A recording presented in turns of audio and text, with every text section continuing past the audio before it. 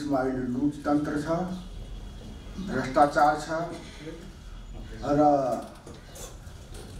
आर्थिक गतिविधिको अराजकता छ भूमाफिया मात्रै होइन सबै क्षेत्रमा माफियाहरू स- सक्रिय छन् र भूमाफियाका गतिविधिहरू यति अगाडि बढिसके कि हामी काठमाडौँमा हिँड्दाखेरि म सबभन्दा पहिले यहाँ दुई हज़ार सत्ताइस सालमा आएको हो।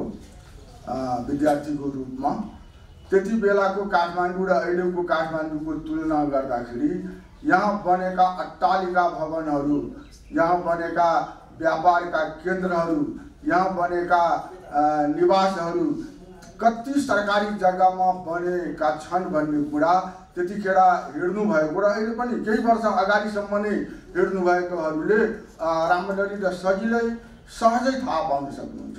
त्यस कारण यस कुराबाट असहमत हुने कतै पनि ठाउँ छैन कि यहाँ भूमाफियाहरूले सरकारी सार्वजनिक जग्गाहरू अतिक्रमण गरेका मात्रै होइनन् कि त्यसलाई आफ्नो बनाएका छन् निजी बनाएका छन्।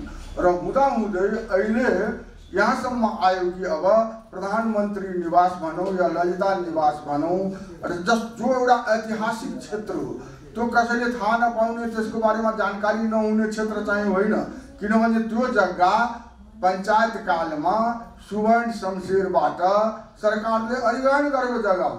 त्यो त ऐतिहासिक जग्गा हो। त्यसको आफ्नै एउटा इतिहास छ त्यो ललिता निवासको त्यो बालुवाटारमा नेपाल राष्ट्र बैङ्कको र बालुवाटारमा भएको सम्मानीय प्रधानमन्त्रीजीको निवासको सम्मानीय प्रधान न्यायाधीशजीको निवासको त्यो चाहिँ के छ भनेदेखि त्यो जग्गाको आफ्नै एउटा कथा छ आफ्नै इतिहास छ।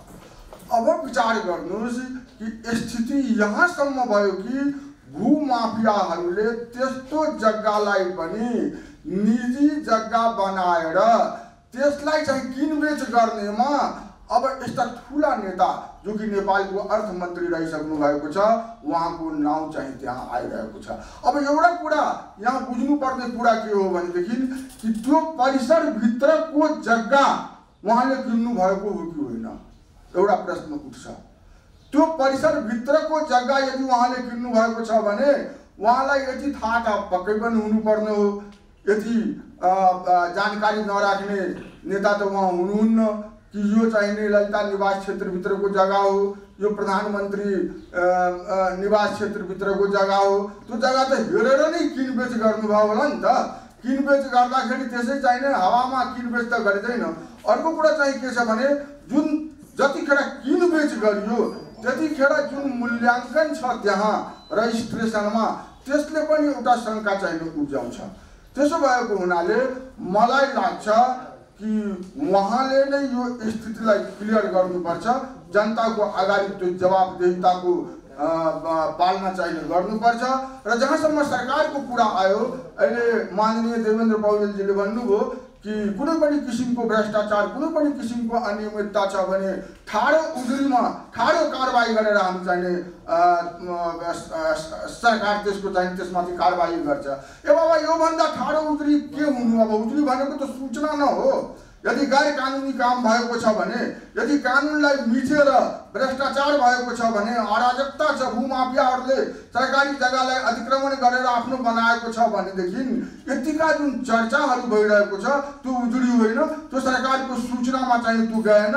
सरकारले यसबारेमा के कारवाही गर्छ त्यो सबभन्दा महत्त्वपूर्ण हो र हामी त्यसको प्रतीक्षा चाहिँ गर्छौँ गर्दछौँ। हामी कसैमाथि आरोप लगाउन चाहँदैनौँ तर कोही पनि आरोपित व्यक्ति जसले कसुर गरेको छ त्यसले उन्मुक्ति चाहिने पाउने अधिकार छैन। यदि विधिको शासन हो भने यदि लोकतन्त्र हो भने यदि विधिको शासनमा यो देशलाई चलाउने अठोट अहिले देशलाई नेतृत्व गर्ने नेताहरूको छ भनेदेखि कुनै पनि व्यक्ति यदि विधिको उल्लङ्घन गर्छ भनेदेखि त्यसले पाउने दण्ड सजाय हुनैपर्छ र त्यसमा कारवाही भएको चाहिँ हामी हेर्न चाहन्छौँ। त्यसमा चाहिँ कुराकानी र छलफलको आवश्यकता नै छैन। 三十八